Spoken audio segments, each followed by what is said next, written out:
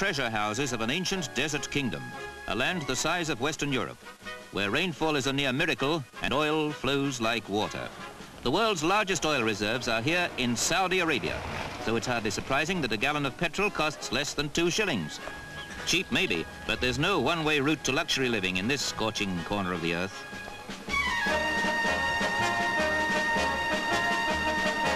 Saudi Arabia, despite its potential wealth, is a country that needs help and guidance.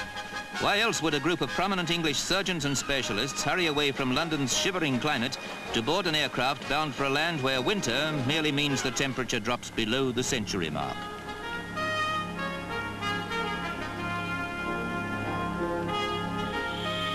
Organized by the International Cultural Exchange, the visit is designed to advise and encourage the still inadequate Saudi medical service, and whether it's a hospital in London or the capital, Riyadh, the urgency for expert attention is just as great.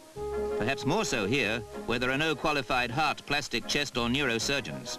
Such is the desperate need of a people who live alongside almost unimaginable riches.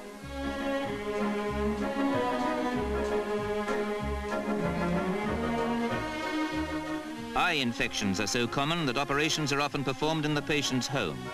Many sufferers can be cured if treated at an earlier stage, and for one young Arab prince, examination by an English specialist may prevent the tragedy of blindness.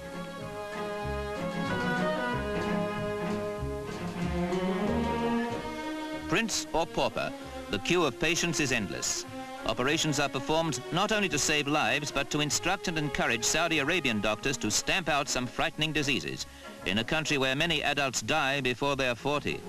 Even to get a prescription, patients must first buy a bottle at the curbside. A stream of Arabs shuffling forward for hospital treatment is perhaps primitive to Western eyes. These people seem to accept the waiting and the unimportance of time, probably because time can be based on any one of three systems, all hours different from each other. And that's only one frustration for the traveler. He can get lost in a maze of narrow, high-walled city streets where time seems to have passed by altogether. An innocent game in a dusty street can be a threat to health, yet children seem to ignore the dangers out in the thirsty heat.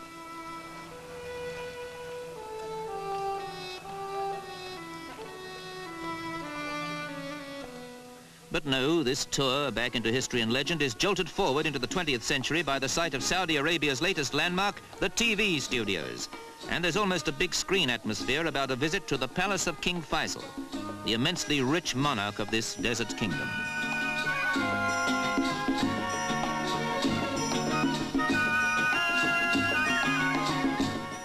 Today, the man who has absolute power over his five million subjects is meeting the doctors who have come to help his people.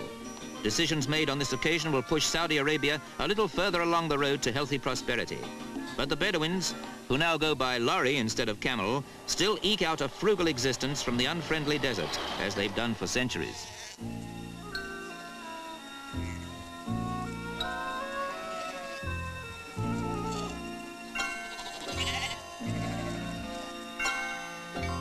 Somehow the nomadic tribes manage to survive in this scorching sea of sand. The oil beneath means nothing to their unchanging way of life. The heavily veiled women still spin goat's hair to weave the walls of their tented homes.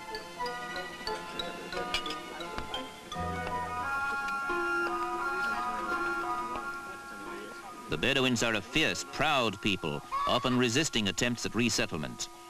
They wander across an uncharted wilderness, ignoring the extremes of temperature. Tribal customs are always upheld. Girls have to be veiled when they reach 12, the marriageable age.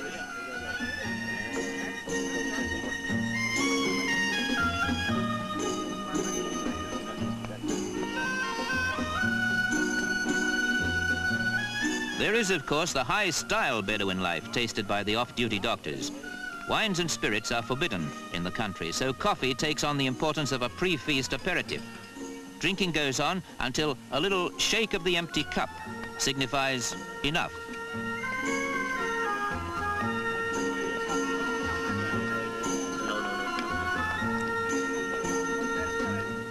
All the Bedouin courtesies and rituals are observed. You take off your shoes before sitting down to a communal dish of roast sheep dressed with rice and whole chickens. The idea being to tear away at the meat and roll it into balls of rice. A feast fit for a king. But this time it's Prince Abdullah in the place of honor.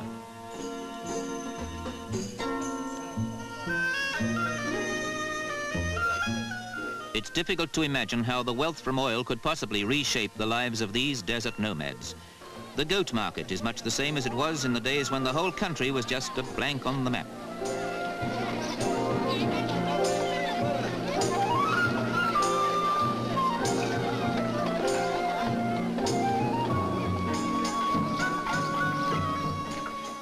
Might not be everyone's idea of super shopping, but there's certainly no better place to collect a few tasty desert lizards for supper.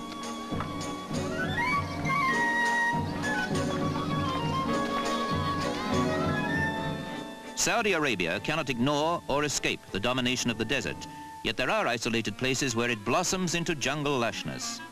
An oasis like this, carefully irrigated, can produce root crops and a rich date harvest.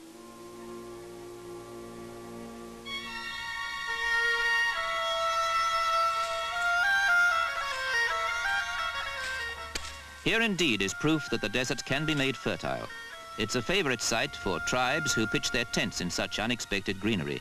Some even build small huts for a longer escape from the open desert.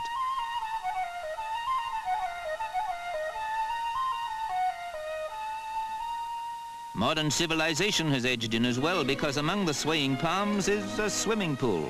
And that's no mirage.